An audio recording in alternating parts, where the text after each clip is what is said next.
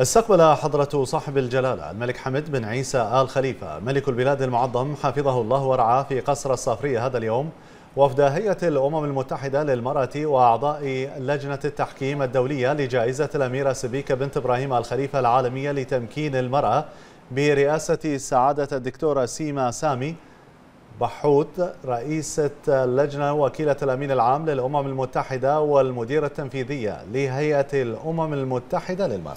وذلك بحضور سمو الشيخ عبد الله بن حمد الخليفة الممثل الشخصي لجلالة الملك المعظم وسعادة الأمين العام للمجلس الأعلى للمرأة الأستاذة هالة الأنصاري بمناسبة زيارتهم للبلاد للإعلان عن الفائزين بالدورة الثانية في الحفل الذي سيقام غدا الأربعاء تحت رعاية صاحبة السمو الملكي الأميرة سبيكة بنت إبراهيم الخليفة حفظها الله قرينة عاهل البلاد المعظم رئيسة المجلس الأعلى للمرأة.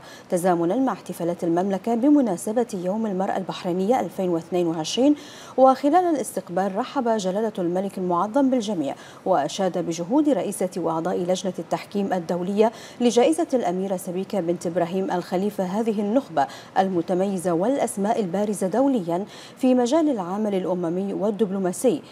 وأثنى جلالته بهذه المناسبة على الدور الريادي الكبير الذي يطلع به المجلس الأعلى للمرأة برئاسة صاحبة السمو الملكي الأميرة سبيكة بنت إبراهيم الخليفة في الارتقاء بمكانة المملكة البح... مكانة المرأة البحرينية وتعزيز دورها الفاعل على الساحة الدولية. أعرب جلالته عن تقديره للتعاون المثمر القائم بين المجلس الأعلى للمرأة وهيئة الأمم المتحدة للمرأة في جميع المجالات ولا سيما في مجال دعم هذه الجائزة. والنهوض بقضايا المرأة في العالم. أشاد جلالته حفظه الله ورعاه بالأهداف الخيرة لهذه الجائزة والمتمثلة في نشر رسالة تأكيد للعالم حول ما يمثله إسهام المرأة من جهود في جهود التنمية من أهمية كبرى وتأثير على تحقيق الاستقرار المجتمعي في كافة الدول.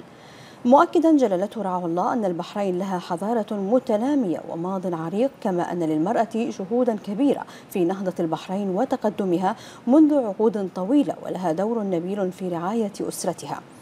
مثمنا بكل التقدير والاعتزاز الإنجازات العديدة التي حققتها المرأة البحرينية على الصعيد الوطني من خلال مشاركتها في عملية التطوير الشاملة وصنع القرار وتقلدها أعلى المراتب والمناصب محليا واقليميا وعالميا.